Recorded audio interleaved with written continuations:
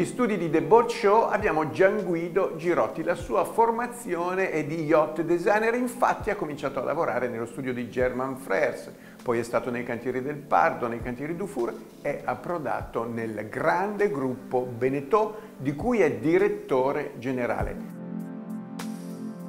La visione di Gian Guido sulla nautica da diporto è molto lucida, molto concreta, come lo è il gruppo per cui lavora. Gian Guido, sicuramente hai cominciato per passione, ma è ancora divertente costruire barche, il mestiere delle barche, a questo livello?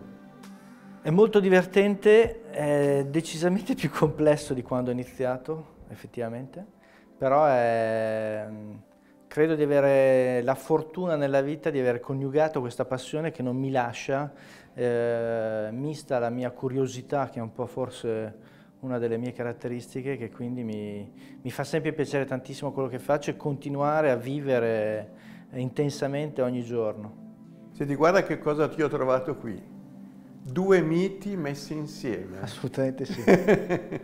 Madame Roux e la Coppa America e lì c'è anche la Louis Vuitton Cup.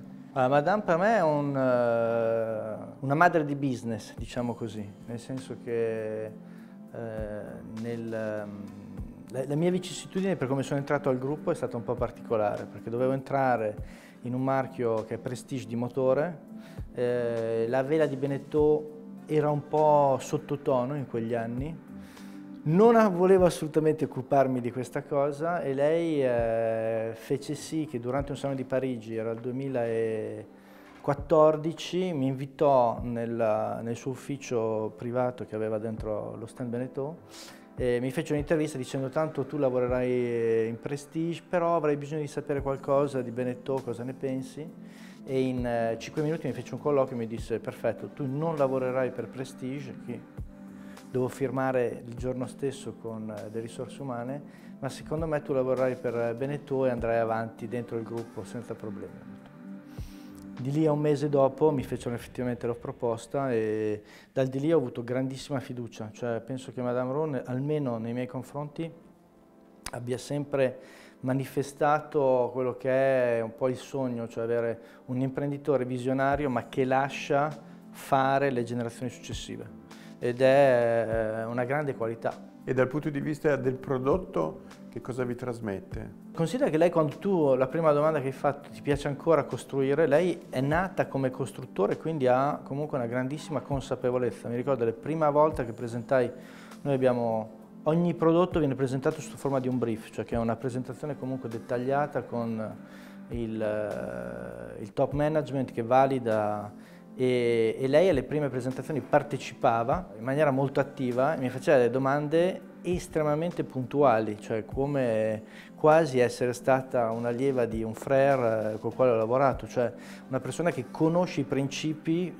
attraverso i quali poi puoi avere un prodotto di successo o meno. D'altra parte ne ha fatti a decine se non centinaia. Senti, la Coppa America cosa ti racconta? Coppa America, allora, personalmente eh, due cose penso. Nel 92, eh, ai tempi del Moro, è stata proprio quella spinta totale che mi ha fatto trasformare il ragazzino che faceva 4 eventi, che faceva le regate agonistiche, in io voglio trasformare questa cosa nel mio lavoro ed era lì che nacque il mito di Frère perché era il progettista e per me era un mito assoluto.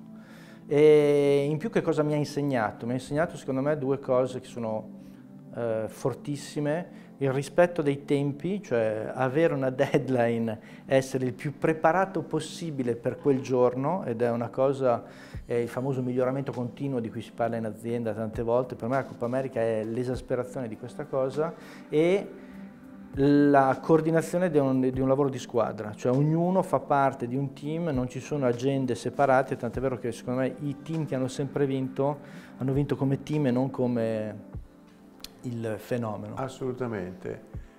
Parliamo di vela, poi parleremo anche di motore. Siete il marchio più importante, forse non quello diciamo, più ricordato dalla gente, ma sicuramente avete dato un'impronta formidabile a tutto il mondo della vela. Che cosa succederà? Che cosa sta succedendo? Cosa ci dobbiamo aspettare? No, cosa ci dobbiamo aspettare? Non posso abbiamo alcune idee. Questa barca per me ha portato certe innovazioni tipo il passaggio completamente ripulito a poppa per permettere di avere una circolazione sui passavanti assolutamente protetta. Eh, se cominciamo a guardare questa barca e alcune barche a motore, cominciamo a vedere che ci sono in alcune aree eh, delle barche a motore che diventano più barche a vela e delle barche a vela che prendono degli elementi come di sicurezza, come in questo caso il passavanti più profondo e quindi molto più sicuro, delle barche a motore. Credo che il futuro ci aspetti una rivoluzione, diciamo, di piattaforma, cioè eh, domani eh, le barche verranno sviluppate come un concentrato di tecnologie eh, attraverso quella che io chiamo la Power Unit e tutta la Power Unit gestirà fondamentalmente la barca. E il secondo elemento credo che ci sia una, mm, una evoluzione del, dell'utilizzatore che diventa sempre più preciso nel suo obiettivo e quindi meno generalista e si andrà verso dei prodotti ancora più specifici adatti al tipo di utilizzo piuttosto che dire questa è una barca a vela che deve fare da 0 a 1500 miglia eh, e, e, quindi poco ancora definito il vero obiettivo, il vero scopo. Senti, qui c'è la storia di Wally, hai pronunciato la parola innovazione, che suggestione ti dà il marchio Wally? Innanzitutto ho avuto la possibilità di ehm, partecipare a qualche progetto appunto quando lavoravo da eh, German e da Mani. La parola innovazione l'hanno veramente portata e hanno credo distrutto i cardini storici bene in maniera positiva, eh, portando una, la vera comprensione del bisogno dell'armatore e non la vera comprensione del bisogno del cantiere. Quindi, secondo me, la vera innovazione che ha fatto Wally è quella che chiamiamo noi oggi la customer centricity, cioè cercare di mettere veramente l'utilizzatore al centro e di capire come disegni il prodotto adatto all'utilizzatore e non il contrario.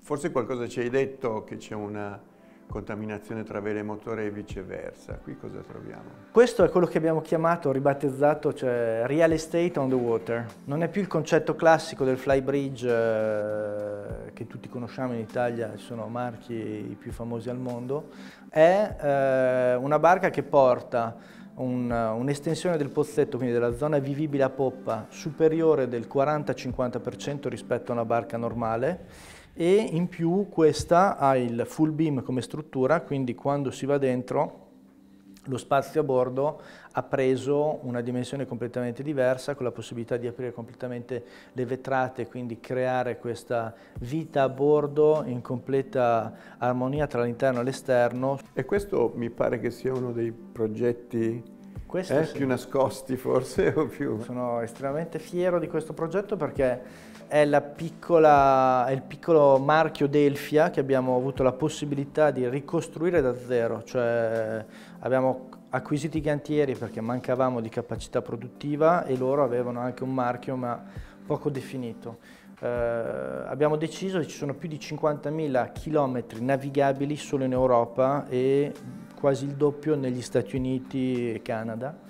Eh, e quindi c'è tutto un segmento di eh, accesso all'acqua completamente scollegato rispetto ai nostri bacini classici che è l'acqua di mare che permette di avvicinare le persone comunque a un tipo di vacanza completamente diversa più inland water cruising si chiama e ha il vantaggio che secondo il mio modesto parere ma eh, lo stiamo portando avanti proprio anche come filosofia saranno i primi a integrare completamente l'elettrico quindi 100% elettrico con eh, zone completamente ricaricabili, quindi ha impatti completamente inferiori anche perché sono barche dislocanti che navigano a 5 nodi.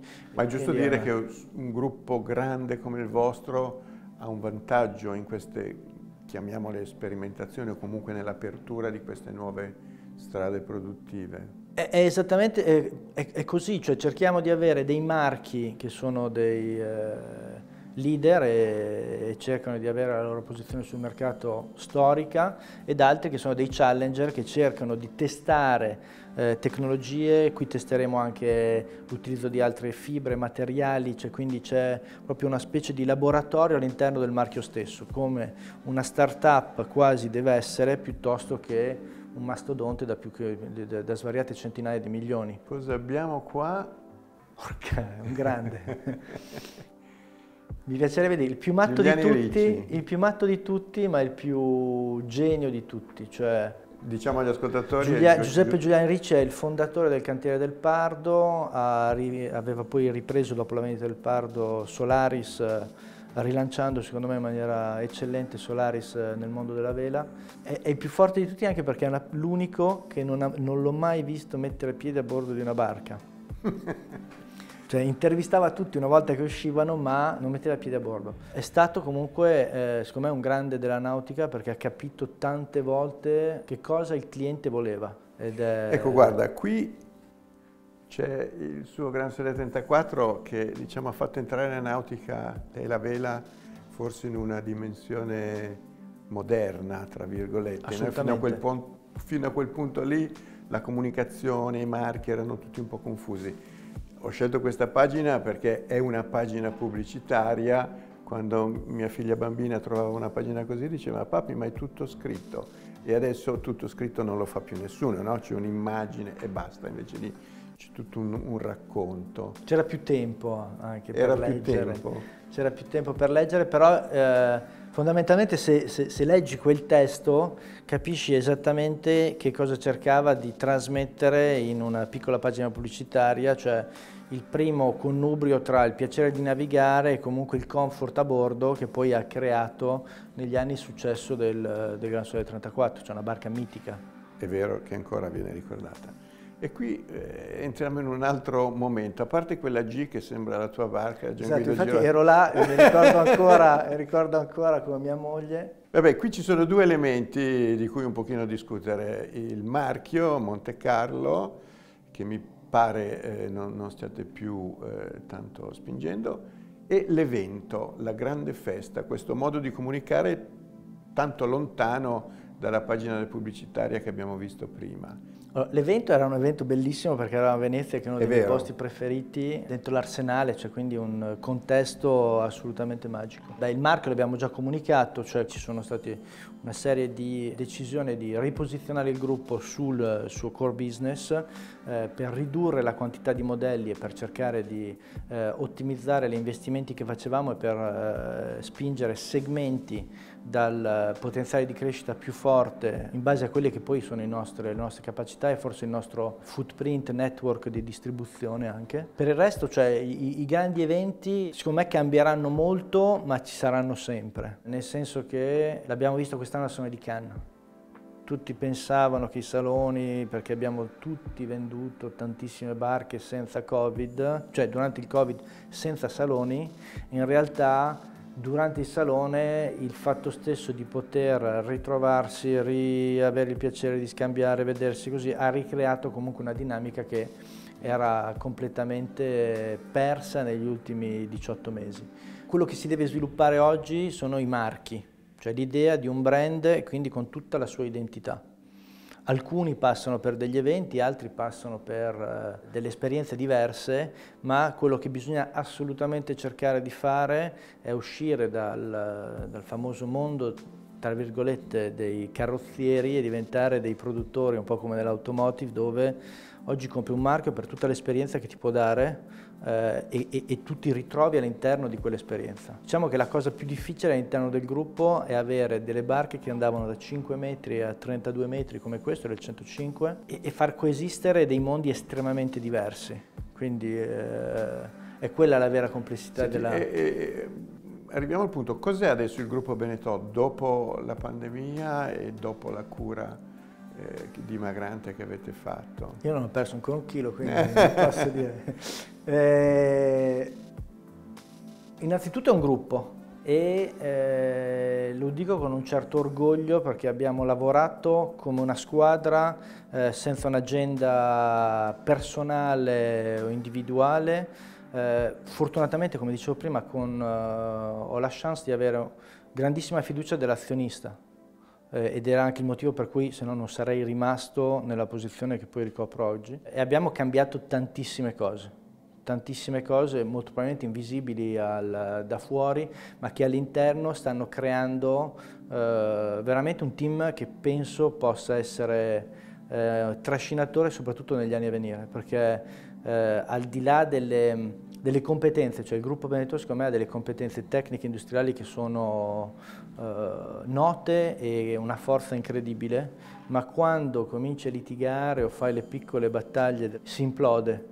Eh, abbiamo risettato, ho avuto la chance di essere messo responsabile di tutti questi marchi, quindi diventare un po' il giocatore ma anche l'arbitro e quindi è diventato tutto più gestibile, c'è molta più armonia e stiamo facendo bene. Possiamo raccontare qualche numero della vostra dimensione? Oggi siamo 8.000 dipendenti quasi, sfioriamo 10.000 barche all'anno, abbiamo una ventina di siti produttivi in Portogallo, eh, in Polonia, negli Stati Uniti, in Italia, in Francia, tra la Vendée e Bordeaux e quello che stiamo cercando di fare è adattare la capacità produttiva e la tipologia di sviluppo in base alla tipologia di modelli che vengono poi sviluppati nei, nei differenti siti. Senti, qui c'è Corto Maltese di Ugo Pratt, credo che anche tu da ragazzo abbia letto questi fumetti, queste favole, no? Adesso si favole. parla tanto di storytelling, eh, Ugo Pratt non era mai stato nei luoghi che descrive, aveva la casa piena di portolani ed erano anche precise le sue descrizioni. Non è che ci manca questa favola per costruire nuovi appassionati?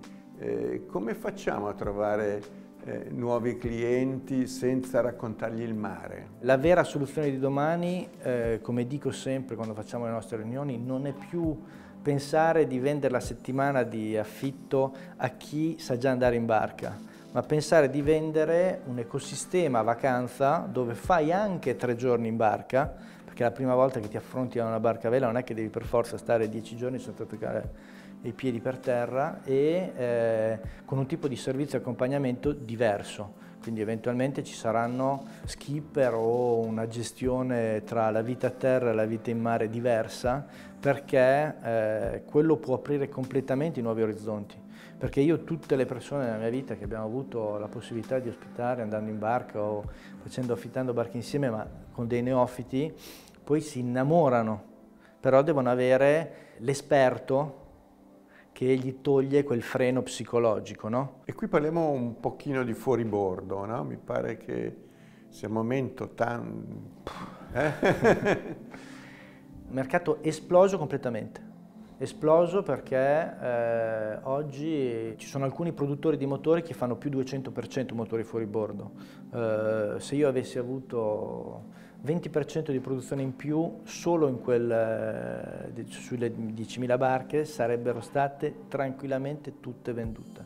Il post-lockdown ha creato questa spinta a voler crearsi la propria isola, la propria bolla eh, felice, sicura, eh, protetta accessibile perché comunque non sono barche né complicate, più facili effettivamente rispetto a una barca a vela e abbordabili che permettono comunque di andare eh, un po' a farti anche il weekend con la famiglia, con la tua piccola cabina. Quello che è veramente incredibile è come la taglia media dei fuoribordo grazie alla tecnologia sta esplodendo e quindi c'è un accesso a barche sempre più grande e sempre più facili da gestire. Fuoribordo per me è arrivato a capire prima di tutti gli altri che risolveva tantissimi problemi di non esperti nella gestione dell'accessibilità di una barca e oggi puoi avere barche fino a 14 metri completamente motorizzate fuori bordo sono delle bombe perché quando poi le provi sono incredibili eh, e dal punto di vista della gestione dell'armatore è molto più semplice.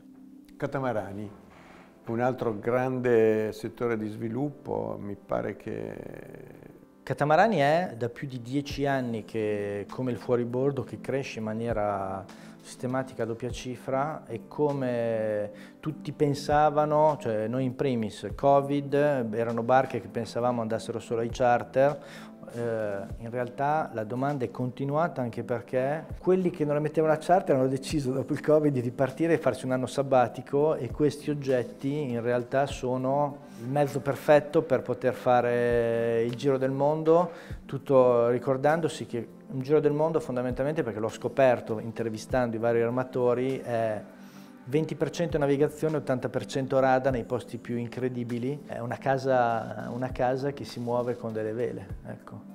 E siamo arrivati al foiling, allo sport. E Benetton è sempre stata presente no? con, con, i monotipi, con, con tante cose. Ci sarà qualcosa di nuovo nel futuro di questo? Stiamo pensando a varie cose, penso che eh, questo è stato un progetto comunque eh, estremamente complesso, cioè, eh, per averlo gestito in prima persona perché era il 2017 e eh, quando ti trovi con 70 armatori che sono dei, i migliori skipper al mondo, perché avevamo Michel Desjoyaux, uh, tutto l'equipe di Banque Populaire, cioè i migliori al mondo, uh, Charlie Dalin, tutti venivano e testavano e, e, davano anche la loro opinione sul progetto. Quindi è stato estremamente eh, formativo perché lavori veramente con i migliori. Mi è piaciuto tantissimo perché è un po' come tornare alla Coppa America ma sull'offshore. Capisci fondamentalmente le problematiche che hanno e l'obiettivo di un monotipo di questo livello qui portato dai super eh, skipper era di far partire 50 o 60 barche e di farne arrivare 60. Senti, introduci un po' la parola sostenibilità che sicuramente per un cantiere come il vostro diventa, è uno dei dei temi da, da, risolvere. È uno dei temi principali su quali lavoriamo perché innanzitutto cioè, siamo molto consapevoli di quello che facciamo, eh, siamo una quotata in borsa dove penso che non c'è nessun altro o pochissimi altri cantieri che controllano il livello di consumi, il livello di eh, impatto CO2 su tutta la sua filiera. Abbiamo eh, certificati praticamente tutti i capannoni, tutti gli stabilimenti, eccetto l'unico, ma che dobbiamo certificare, l'ultimo che è quello in Portogallo. E quindi c'è una grande attenzione di Madame Roux a partire dall'azionista, quindi, verso eh, la sostenibilità. La vera svolta, secondo me, sarà domani quali sono le tecnologie che ci permetteranno a livello di resina, a livello di fibre, future a ancora una volta in più ridurre l'impatto, essere 100% riciclati e riciclabili. Quindi è... ci sarà anche un processo di costruzione delle barche? Beh, noi stiamo diverso. già testando, eh,